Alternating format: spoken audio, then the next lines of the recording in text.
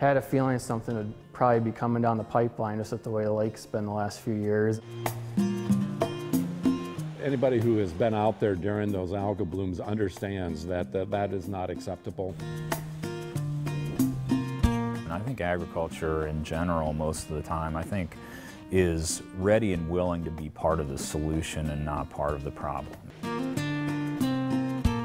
We've already seen in the past several years the water quality issues that affect everyone from their drinking water to their public facilities to the opportunities they have for future generations. So this is, the time is now to come together both with our commodity groups, our farmers, our researchers, to speak with one voice moving forward.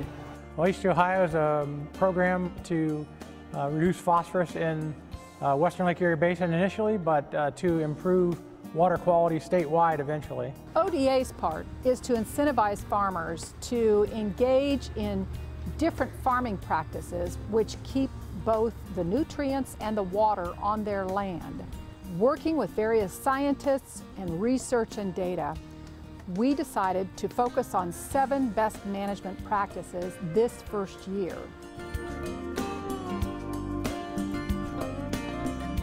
H2 Ohio is definitely a step in the right direction because the bottom line is, is that in agriculture we're facing some tough times. The margins have been very tight and we need to implement changes that will help out in the water quality.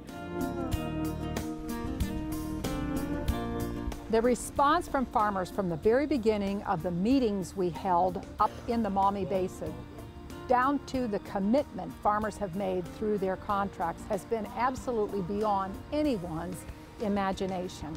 We have over 2,000 producers which encompass over 1.2 million acres of, of land in the lower Maumee Basin that will now be enrolled this year in the program.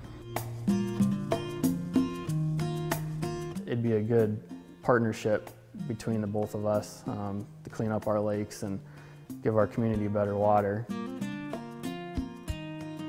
You know, farmers are the stewards of our land.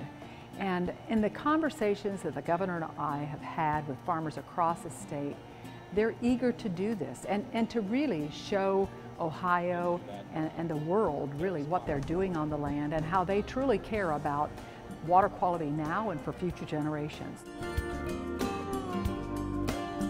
We think it's a collaborative initiative that takes into account the very bedrock um, of the program is science. Because I think it is important that uh, agriculture step up to the plate and do what they can to help out the lake.